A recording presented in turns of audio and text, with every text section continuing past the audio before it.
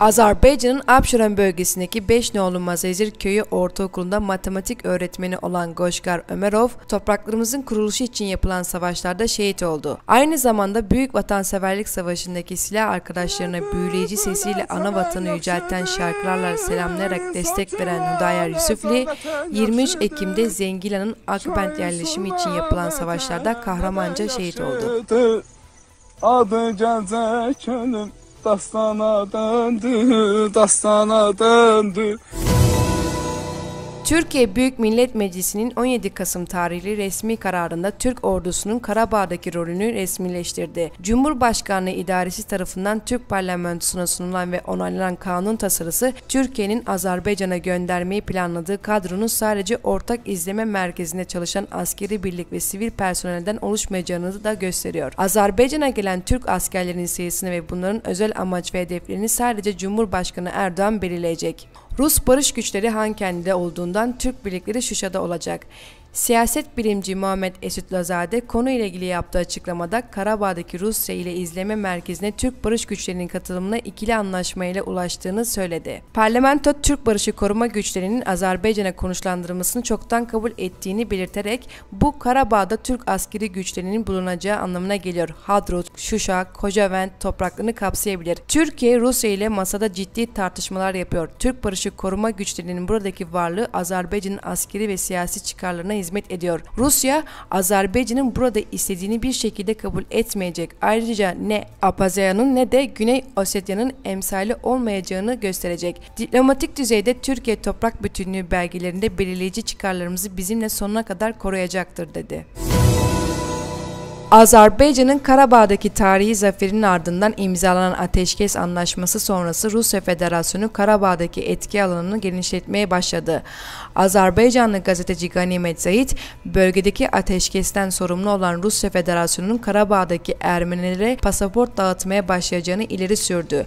Zahit bu iddiasını Rusya Federasyonu İçişleri Bakanlığı'ndaki kaynaklarına dayandırdı. Karabağ'da imzalanan anlaşma gereği yalnızca ateşkes ve anlaşma hükümlerinin sorumlu olacak olan Rusya Federasyonu önce ateşkesin imzaladığı gün barış gücü askerlerini Karabağ'a soktu. Ardından sadece sorumlu olduğu bölgelerde değil Karabağ'ın pek çok bölgesine asker çıkaran Rusya ağır silah ve mühimmatlarını Karabağ'a yayılmaya başladı. Öte yandan Rusya Federasyonu'nun Karabağ'daki Ermenilere pasaport dağıtacağı tezini güçlendiren örnekler mevcut. 2014 yılında zorla işgal ettiği Kırım'da ve Ukrayna'nın doğusundaki Donbas'ta zorunlu Rus pasaportu dağıtılması hemen akla gelen örneklerden. 2008 yılında Gürcistan'ın Abhazya ve Güney Ossetya bölgeleri işgal edilmeden önce Rusya bu bölgelerde yine pasaport dağıtmıştı. Azerbaycan'ın cephe hattında elde ettiği tarihi zafer sonrasında Dağlık Karabağ bölgesinden çekilme kararı alan Ermenistan ordusu 28 yıldır işgal altında tuttuğu toprakları bir bir terk ediyor. 27 Eylül'de başlayan ve yaklaşık bir buçuk ay süren çatışmalarda hem personel hem de askeri araç gereç tarafında ciddi kayıplar vererek cephe hattında telafisi mümkün olmayacak şekilde darbe yiyen Ermenistan ordusu bu sefer de içine sindiremediği yenilginin acısını kendince geri çekildiği köyleri ateşe verip ortalığı yıkıp dökerek çıkarmaya çalışıyor. Geri çekilmelerin tamamlandığı bölgeleri ziyaret eden Azerbaycan Cumhurbaşkanı İlham Aliyev ise Ermenistan'ın işgal ettiği bölgelerdeki sivil yerleşimleri, okulları, hastaneleri, tarihi abideleri, mescitleri ve mezarlıkları yerli bir ettiğini söylerken uluslararası uzmanların katılımıyla maddi ve manevi zararın hesaplanacağını ve Ermenistan'ın uluslararası mahkemelere verilerek tazminat talep edileceğini kaydetti. Aliyev'in bu açıklamasının ardından Ermenistan ordusunun geri çekildiği bölgelerde verdiği zararları sorunların tespiti için beklenen çalışma grupları ise kurulup görevlerine başladı. Öte yandan işgalden kurtarılan bölgeleri uluslararası kuruluşlar ve bilir kişiler de davet edilecek. Yapılacak incelemelerde zararın hesaplanmasının ardından Ermenistan aleyhine uluslararası mahkemelerde tazminat davaları açılacak. Yapılan değerlendirmelere göre Ermenistan'ın işgal altında tuttuğu Dağlık Karabağ bölgesindeki zarar 50 milyar dolar civarında. Uluslararası mahkemelerden bu yönde bir tazminat kararı çıkması halinde ekonomik olarak çöküşte olan Ermenistan'ın ödeme yapmaması halinde bu rakamı toprak vererek karşılayabileceğinin de altını çizen uzmanlar tarihte bu tarz durumların örnekleri olduğuna da dikkat çekiyor. Azerbaycan'ın işgalden kurtarılan Hadrut bölgesine Azer Işık Sözcüsü Vakif Aydınoğlu elektrik verileceğini belirtti.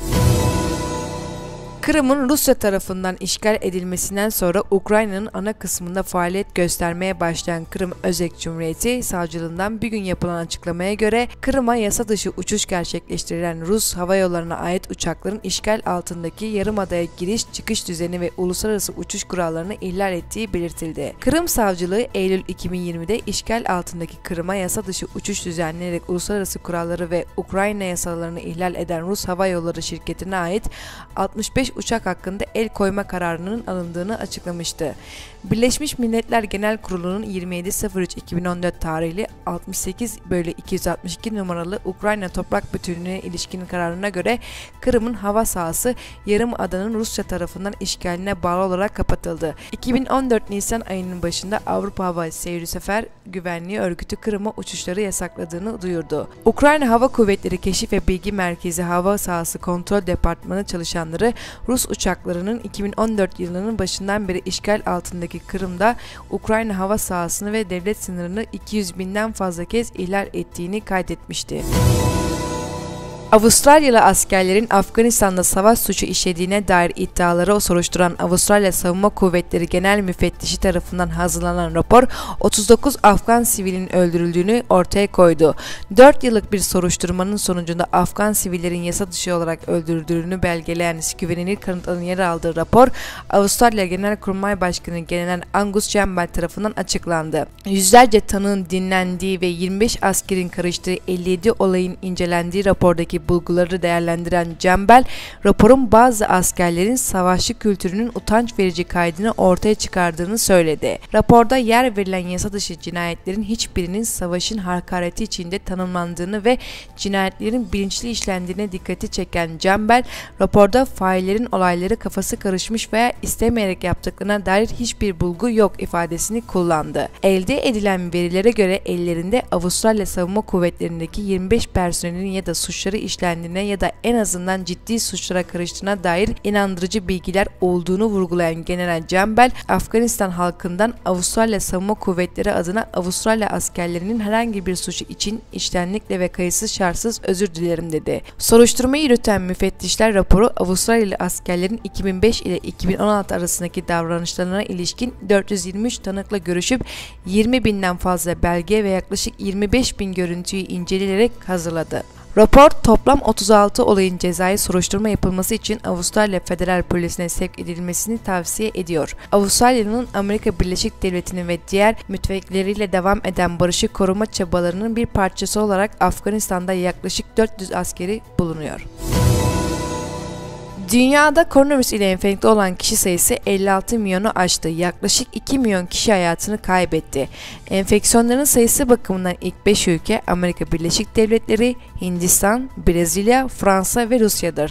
İran'da 801.894 kişi, Türkiye'de 425.628 kişiye, Ermenistan'da 120.459 kişiye ve Gürcistan'da 89.395 kişiye koronavirüs testisi kondu. Azerbaycan'da koronavirüs ile enfekte olan kişi sayısı 81 bini aştı. 1030 kişi hayatını kaybetti.